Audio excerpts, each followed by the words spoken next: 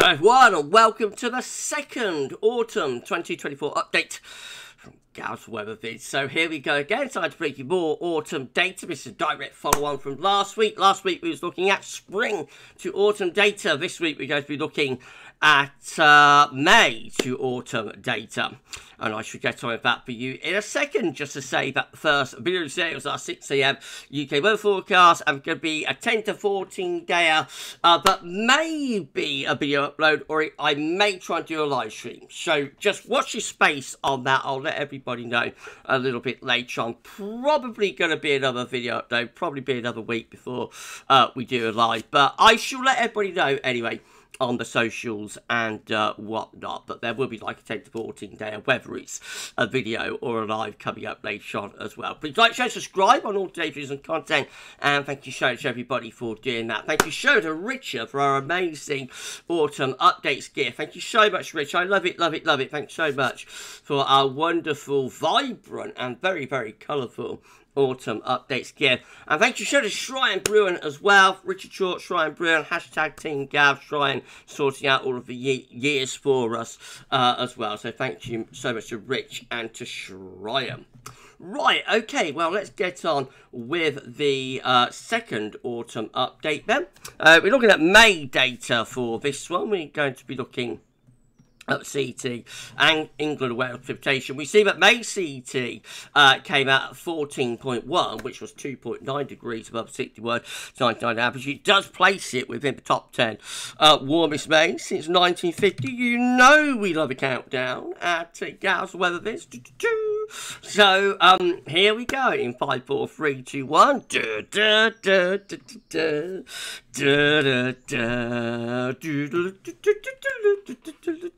Okay, so uh, we're going to be counting down the top 10 warmest days and the autumns that uh, followed them. So, uh, starting off at number 10 with 1970. The autumn of 1970 has high pressure south and low pressure is away to the north. We bring the wind in from off the Atlantic on a west or a southwesterly uh, direction, a little bit like that. Quite a mild autumn, I think, that one. Uh, driest in the south, wettest up in the north. At number 9, we've got 1998. So, May 1998 was the ninth uh, warmest May on the CET, certainly since 1915, and uh, we can see that the autumn of 1998 was quite unsettled actually. Let's change the colour. There's a trough of low pressure over and to the east country, a ridge out in the Atlantic and the jet stream doing something uh, a little bit like that. So a rather mixed autumn for 1998. Very wet October, I remember, and a rather dry uh, November, but also uh, a little bit cooler in November as well, a few cold snaps. So we've got 2022, so this comes at the end of a long hot summer, of course, and it is quite a wet autumn with low pressure out in the Atlantic, bringing the wind from west and from southwest. So a warm and wet autumn for 2022. At number seven, we've got 2017. This is slightly cooler autumn has a wet and cool September, something that we don't get very often these days. Does have quite a warm October, and we get the remains of Hurricane Ophelia, of course, turning the skies a Martian orange or red in um, October 2017. And then November actually has a few cold snaps and uh, a few cooler intervals. Overall, pretty chilly autumn with winds coming in from the uh, northwest quite a lot. At number six, we've got uh, 1964. Now, this is a relatively dry and quiet autumn with high pressure just out to the west of the country. And then we go top five. So the fifth warmest May for CET since 1950 is 2018. The autumn of 2018 is largely dry and quite mild as well, with high pressure tending to be to the east, low pressures out to the west, and a lot of the time we're drawing up the wind from a southerly type direction. Right, let's go number four. That's 1952. This is quite a cold autumn with a deep trough of low pressure over and to the east of the country. High pressure is out in the Atlantic and winds coming in from a northeasterly direction. Quite a few cold snaps snaps in the autumn of 1952, also unsettled as well. I believe it uh, has uh, some early season snowfalls and an unusually cold September, I think, in uh, 19 um, in 1952 as well. Right, top three. Number three, it's 2008.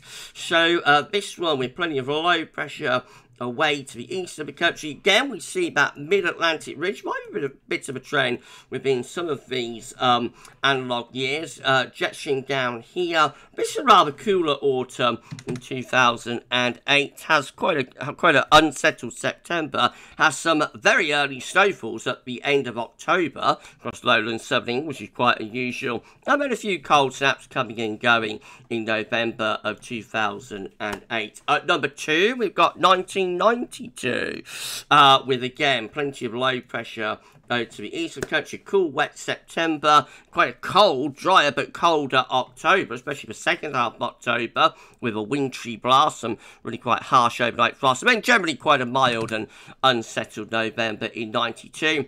And then finally, at number one, well, I'm sure you guessed it, it's 2024.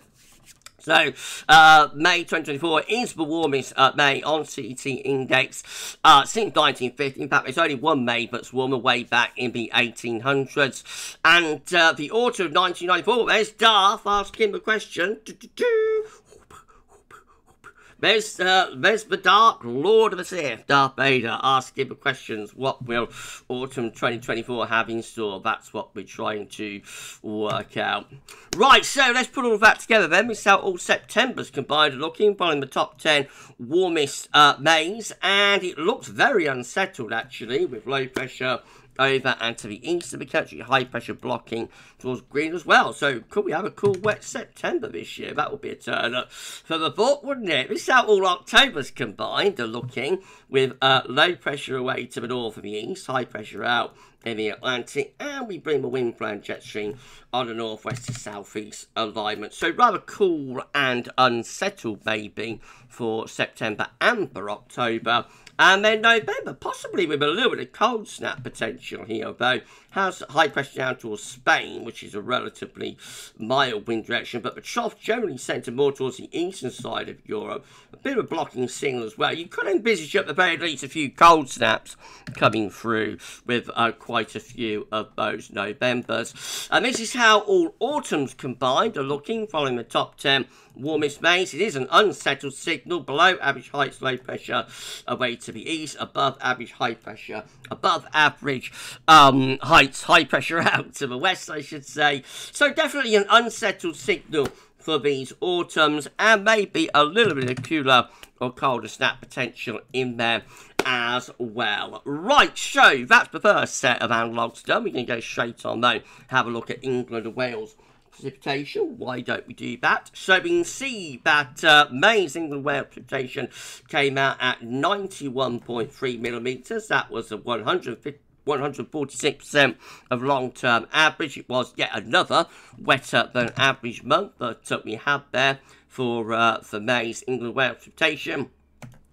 And so we're going to be looking at uh, autumn's following Mays with an England Wales precipitation range of 85 to 105 millimetres. We start with uh, the autumn of 1955 with high pressure out in the Atlantic, low pressure wave to the northeast, and winds generally coming in from a northwesterly direction. So largely dry uh, autumn there for 1955, lots of high pressure in control. It does get a little bit colder after a warm start. And then we've got 1958. This is another anticyclonic autumn with uh, high pressure, this time more towards Scandinavia. I think it has a wet September, though. And then the rest of the autumn, October, November, tending to turn drier.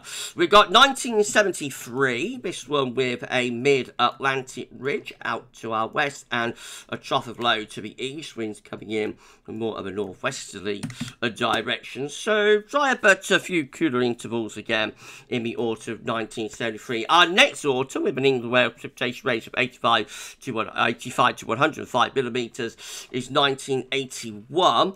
Oh, uh, this one has high pressure pressure down towards Spain, bit of blocking to the north, and low pressure is away to the north of the North northeast as well. Few cooler intervals with that, cold snaps um, occurring in October, which is quite a cold, wet month. September's interesting, it has a very a dry start to it. First 10 days are quite dry and reasonably warm, and then it turns very wet, actually turned into a very wet September in 1981, and also a wet November as well, with quite a bit of tornadic activity. We've got 1986, which has high pressure to the south and low pressure the north. Winds coming in from off the Atlantic. Is quite an interesting uh, autumn because it has a very cold September. We saw 1952 earlier, which I think has a cold September. This one also with a cold September. Uh, last time I had a CET for September in the 11s was in 1986. The rest of the autumn is generally uh, really quite mild though.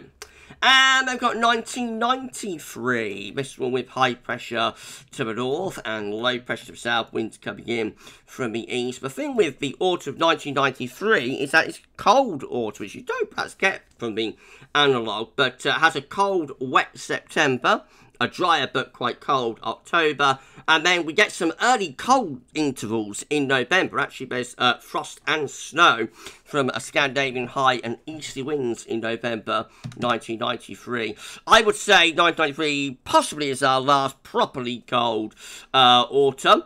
Although, of course, we have had 2010 and uh, one or two others since then. But uh, for like a consistently cold autumn season from beginning to end, I would say 1993 probably the last time that happened. Very very long time ago. We've got 2000 next showing up after a bay england wales precipitation ratio of 85 to 105 millimeters this one is a very very wet autumn with low pressure parking itself over top UK island high pressure, blocking away to the northeast, stopping the low from taking its usual track and instead just gets stuck over the top of Western Europe, exceptionally wet autumn 2000 with those incredible flooding rains. Then we've got a warm autumn for uh, 2014 with high pressure away to the east. Low pressure is out to the west. Lots of southerly winds in this autumn. Oh, uh, that's one of our warmest autumns on record. And then lastly, we've got 2015 with this rather bizarre sort of pattern of high pressure just covering most parts of Europe. Low pressure's out in the Atlantic. So that's uh, relatively uh, well. Well, it has quite a coolish September actually, 2015, which you don't get from the analogues. Last time we had a September CET in the 12s, I think, was 2015. Um, but other than that, it's quite a warm uh, autumn, exceptionally warm, but also wet in November of 2015. Right, let's put all that together then finally. So this is how all September's combined are looking, following a May, England, England and Wales precipitation range of 85 to 105 millimetres. Lots of low pressure coming in from off the Atlantic. High pressure away towards the far north of northeast. An unsettled and uh, quite mild uh, month, uh, or unsettled month anyway, for September. And probably quite warmish with winds coming up from the southwest. But the main thing, again, both sets of analogues interestingly showing quite unsettled September. No, um, all October's combined look like that. Low pressure away to the north and through the west of Europe. High pressure is out in the Atlantic. Could there be a little bit of cooler uh, snap potential there in the Octobers? Maybe. And then all Novembers combined, following a May, England relative change range of 85 to 105 millimetres, much more anticyclonic and probably quite mild as well. That high pressure looks like it's ridging up from the south actually pulling the wind into a southwesterly, so probably quite a mild and dry signal for the uh, Novembers after a wetter signal for the Septembers and maybe a little bit cool that uh, potential for the Octobers and all autumns combined following May, England, Wales precipitation range of 85 to 105 millimetres. Finally, doesn't really yield a lot. All uh, months are individual and unique, so you can't take much away from that.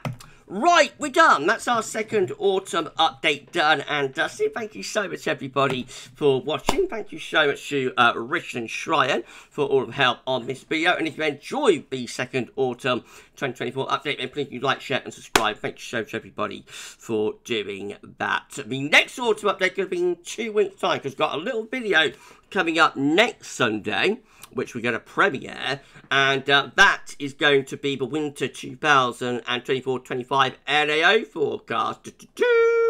I said nothing about that so far. Um, so uh, if you've been wondering, waiting, wondering where it is, it's going to be released next Sunday on the 30th of June. Um, and so because of that, the next autumn update, third autumn update, will be in two weeks' time. I say thanks to Richard Shrine for help on the video, and we're going to end it there. Hashtag Team Gabble, which did an amazing job. Thanks so much, both. So we're going to end it there. Um, as I say, there will be a 10 to 14 day either as a video upload or maybe as a live coming up for you later on. I'll let everybody know on the socials a little bit later how the uh, foot and ankle's feeling, whether I'm up to uh, sit here for a live. But um, in any case, you know, there's more to come for today. So uh, keep checking back to more. But for this one, or keep checking back for more. But for this one, that's all for now. And thanks for watching.